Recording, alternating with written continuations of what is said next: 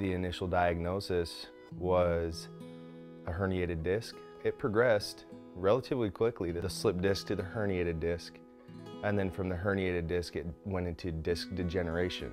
The pain that I was living with before, it really debilitated my means of being able to be a good father and husband. And the constant problems of the symptoms I was having, I couldn't do that.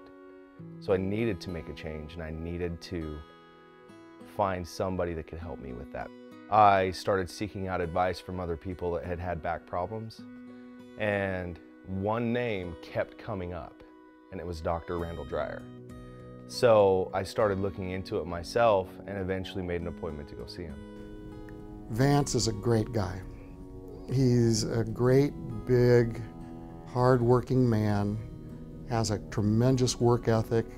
He is very stoic and downplays his pain and works through it. Everybody there is, is so nice when you walk in the office. I mean, it was immediate that everybody started saying hi and they all had smiles on their faces. It was a quick process.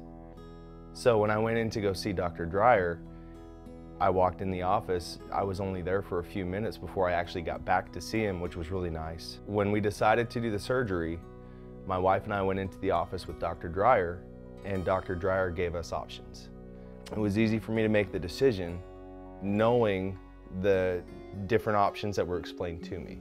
I had only heard horror stories of people that had had back surgeries, people saying that it's never the same and that they were never able to lead normal lives again. Well, when I started considering the surgery myself, everybody that I had talked to that had had a procedure done by Dr. Dryer, they all said the same thing, that they had had great results.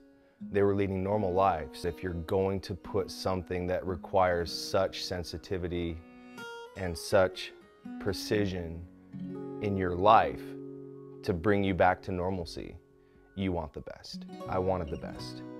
And the best doctor will provide the best results, and that's what I got.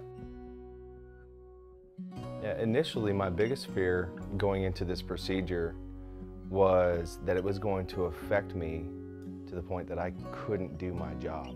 Taking my ability away from being able to help people, that's a big deal for me.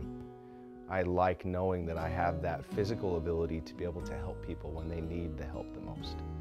So considering the surgery, I was, I was fearful that I wasn't going to be normal again. Day of my surgery, um, they, they got me into the post-op room and I was down for a couple hours. They came in and told me I needed to get up and walk around. Dr. Dryer's like, you need to get up, you need to walk around. We went in there with the, the nurses and the staff prior to my surgery. Uh, it was very personal. When I go in now to the office to go see Dr. Dryer, it's nothing but hugs and love. I walk in there and the staff will come out from behind the desk to give me a hug. Um, I made some really good friends there. It's a nice office and the people there, they're not just there for the job, they actually they're like me, they do it because they care. Meaning that I'm, I'm not even a year post-op yet. I haven't, it hasn't even been a year since I had my surgery. And I'm doing things now that I wasn't able to do before. And it's only gonna get better because it takes a longer time for back surgery. And even where I'm at now, I am leaps and bounds ahead of where I was. I did my own personal research and I read all of the different reviews from the clients and from the patients that have gone to him. And then looking at all of the people that I know that have gone to Dr. Dryer, there was no doubt in my mind that I was going to the best. As the results speak for themselves.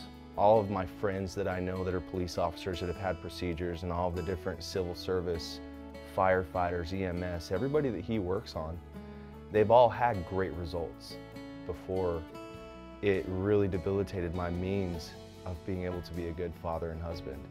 And now my family life is so much better because of my recovery and my back surgery that I can go to work not concentrating on personal things. I can go to work knowing that I have a good family life and that I can go do my job.